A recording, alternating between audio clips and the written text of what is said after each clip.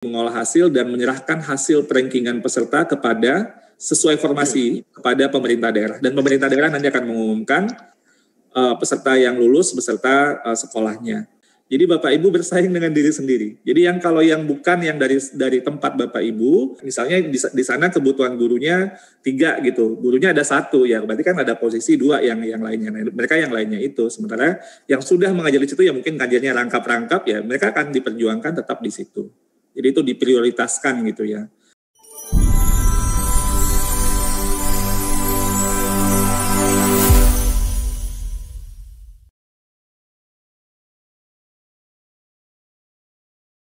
uh, saat ini uh, kita tahu kondisi uh, kita tadi yang Prof. Mudi bilang uh, kebutuhan guru. Dan kami menghitung sekali Prof. Dan ini karena kita ingin merencanakan. Ada memang uh, dari uh, kemacetan di masa lalu yang uh, sistem uh, supply dan demand lah kalau kata saya. Jadi ketika ada guru yang pensiun tidak langsung diganti dan kemudian uh, macet gitu ya. Dan setelah uh, kebutuhan untuk merekrut guru-guru honorer karena sekolah mau nggak mau harus butuh guru. Pada akhirnya uh, kalau perhitungan kita pada saat ini dari sekitar uh, 2,2 juta gitu yang dibutuhkan untuk sekolah negeri, ini baru yang terisi sekitar 50-an persen. Yeah. Jadi kita memerlukan uh, guru di sekolah-sekolah negeri, uh, guru ASN sehingga mereka bisa mengabdikan dirinya dengan dengan baik dan dengan status yang jelas seperti yang tadi Prof. Kemudian dan juga dengan kesejahteraan yang juga baik gitu ya. Itu yang memang menjadi kita perjuangan bersama-sama. Nah, kebutuhan satu juta guru ini uh, dapat dipenuhi dari uh, kita bisa hitung dari guru honorer yang ada sekitar 742 ribu. Artinya ini adalah potensi yang bisa kemudian uh, untuk mengisi kebutuhan kekurangan guru tersebut. Namun ternyata masih ada sisa 275 ribu dan ini iya. luar biasa, Prof. Ini kerja kita nanti di LPTK Siap, untuk iya. uh, bagaimana mengatasi ini perlu ada inisiatif inovasi crash program sehingga layanan kepada anak-anak kita bisa lebih baik. Um, jadi um, kita memerlukan sebuah uh, sistem yang uh, lebih baik di masa depan dan ini jadi refleksi kita dan Mas Menteri juga uh, mengingatkan kami PTK untuk melakukan ini. Jadi ini adalah sebenarnya uh, pada konteks ini ini uh, solusi yang uh, singkat dulu, nanti ada solusi yang tentunya yang lebih jangka panjang uh, kalau dilihat dari track track ini kita kita dari awal Mas Menteri memperjuangkan misalnya uh, bantuan uh, operasional sekolah tadinya pagunya 15% lalu menjadi 50%. Itu juga diskusi dengan Kementerian Dalam Negeri, Kementerian Keuangan.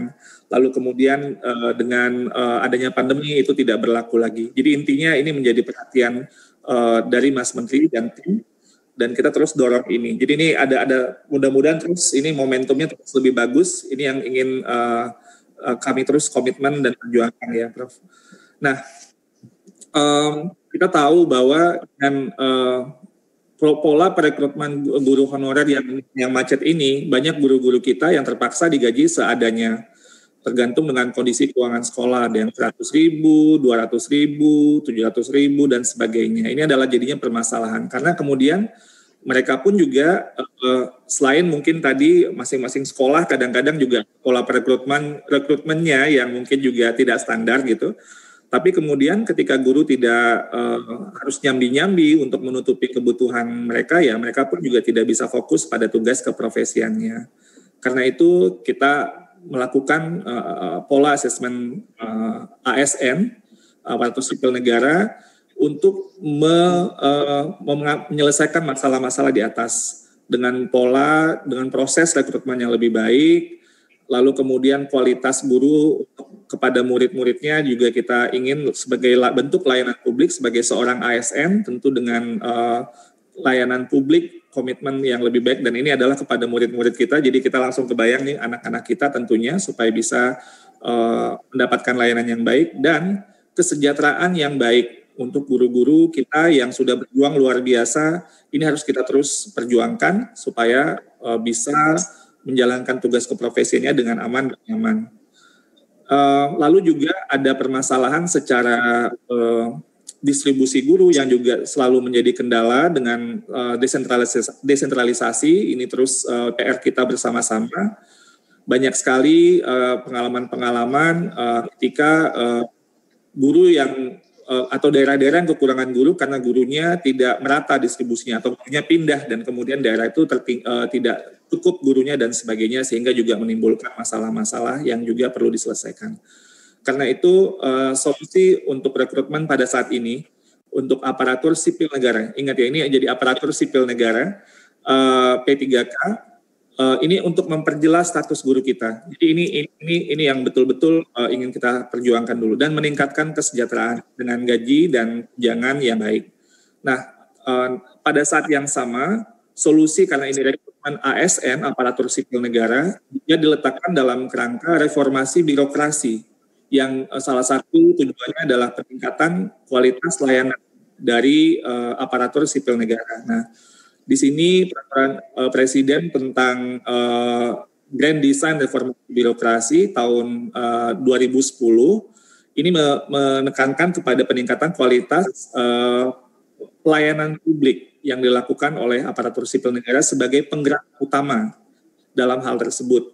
Nah, dalam undang-undang ASN uh, yang dari uh, tahun 2014 pegawai negeri uh, pegawai ASN ini terdiri dari pegawai negeri sipil PNS dan pegawai perintah dengan perjanjian kerja.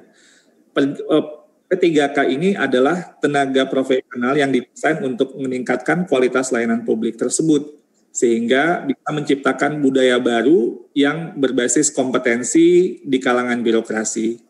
Nah, salah satu skema P3K yang tadi Prof Mudi sampaikan dari uh, apa sejarahnya untuk kita untuk memperjuangkan guru ini salah satunya bisa diisi oleh dari uh, jabatan fungsional untuk guru. Ini sesuai dengan uh, peraturan Presiden 38 2020. Um, dan sebagai tambahan informasi kami kemudian juga uh, terus berdialog lintas kementerian karena ini ini bukan hanya di Kementerian Pendidikan dan Kebudayaan ini lintas kementerian uh, dari Direktorat Jenderal Perimbangan Keuangan bahwa Kementerian Keuangan sudah sepakat untuk mengalokasikan anggaran gaji P3K ke kas daerah melalui dana transfer umum. Dan inilah yang kemudian uh, menjadi uh, pintu masuk untuk kita uh, melakukan uh, kebijakan rekrutmen. Dan ini cukup besar ya Prof. Mudi. Mungkin ya. saya nggak ingat kapan terakhir kita melakukan sebuah rekrutmen semasif ini. Uh, ini kita mencoba untuk uh, menyelesaikan tapi tidak berhenti di sini itu itu mohon di diinikan ya. Jadi ini untuk saat, saat ini dulu. Nah, uh, status guru jadi akan lebih jelas karena mereka status ke, kepegawaiannya bukan oleh status dari sekolah lagi tapi menjadi bagian dari pegawai di pemerintah dalam hal ini melalui pejabat pembina kepegawaian yang ada di daerah. Dan gaji yang saat ini diterima yang tadi mungkin ada yang bahkan ada yang 50 ribu sampai 750 ribu ya. Kita terus tahu itu tentunya. Ini dapat meningkat hingga 2,9 juta per bulan. Ini di luar tunjangan yang melekat dan dijamin oleh pemerintah. Nantinya kalau guru-guru tersebut mengikuti sertifikasi pendidik dan maka ini kemudian uh, ini juga bisa menambah penghasilan mereka Nah, tunjangan-tunjangan ini mungkin saya uh, sering kali mungkin ini kurang dikomunikasikan.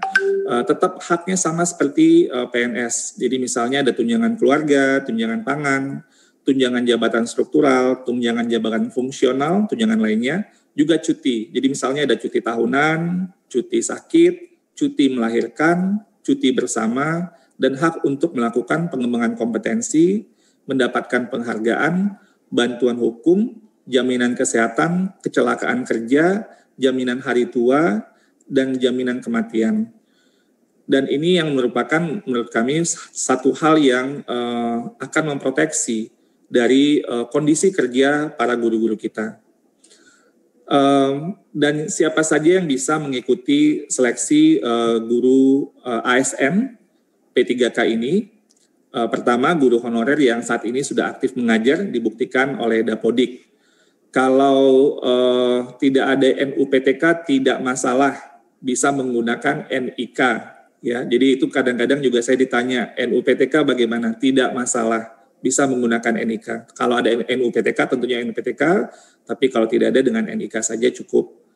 Lalu kemudian individu uh, yang selain dari yang aktif mengajar saat ini, yang sudah bersertifikat uh, pendidik melalui PPG itu juga bisa uh, ikut mendaftar uh, dan uh, guru yang pernah tercatat di Dapodik, nam, walaupun di tahun-tahun terakhir namanya sudah tidak tercatat di Dapodik pun juga bisa untuk mendaftar. Nah, ada hal yang juga dikhawatirkan yang ingin juga saya klarifikasikan dalam hal ini adalah uh, persaingan dengan guru-guru lain.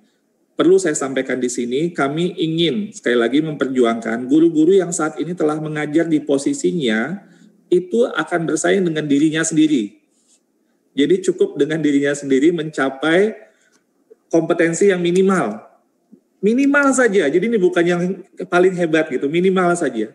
Jadi Bapak Ibu bersaing dengan diri sendiri. Jadi yang kalau yang bukan yang dari dari tempat Bapak Ibu, ya mereka bersaing dengan misalnya di, di sana kebutuhan gurunya tiga gitu, gurunya ada satu ya, berarti kan ada posisi dua yang yang lainnya. Nah, mereka yang lainnya itu. Sementara yang sudah mengajar di situ ya mungkin ngajarnya rangkap-rangkap ya, mereka akan diperjuangkan tetap di situ.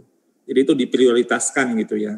Jadi sehingga Bapak Ibu akan bersaing dengan dirinya sendiri untuk mencapai passing grade yang minimal sebenarnya. Jadi ibaratnya kalau Bapak Ibu mengajar matematika ya kemampuan gimana sih guru matematika yang minimal gitu. Yang kita perlu uh, apa ya tentunya itu ingin buat uh, apa ya uh, karena dia guru ya ya kita marwahnya guru kan tetap kita jaga uh, guru bahasa Inggris atau guru IPS ya itu nilai minimalnya dan tapi dia bersaing dengan dirinya sendiri jadi ini yang yang paling penting untuk dipahami karena kembali lagi kami kami ingin memperjuangkan. Jadi ini komitmen dari kami. Tapi uh, pada saat yang sama bagaimana uh, ekspektasi minimal tadi kalau kontennya terutama ini konten ya. Nanti kalau nanti belajar ini Prof Mudi berarti kontennya ini kita kita perkuat ya. Uh, karena itu yang menjadi fundamental sekali. Um, dan juga ada nanti uh, pada saat ini tim GTK sedang bekerja keras Bapak Ibu semua untuk juga turut membantu. Jadi kami saya waktu Prof Mudi uh, menyampaikan pesan untuk uh, bahwa ada acara ini dengan kemudian rencana juga fasilitasi belajar, wah saya senang sekali.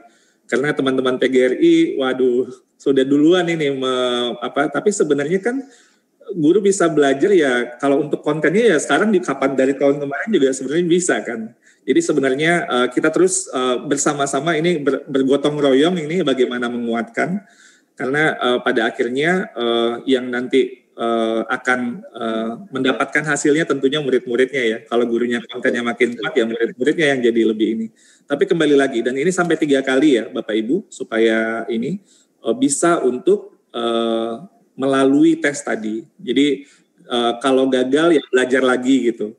Kalau gagal sekali lagi masih ada belajar lagi. Jadi bantuan-bantuan ini akan terus kita upayakan dan terima kasih sekali lagi untuk uh, PGRI terutama PGRI Provinsi Jawa Tengah yang sudah berinisiatif untuk uh, terus menguatkan ekosistem belajar ini. Karena pada akhirnya transformasi pendidikan kita, kita tidak menyelesaikan masalah hanya untuk saat ini, tapi kita melihat untuk investasi masa depan, bahwa ekosistem yang kita lihat untuk bisa maju sistem pendidikan ya budaya belajar ini. Budaya belajar ini adalah hal yang yang penting yang harus terus kita kuatkan.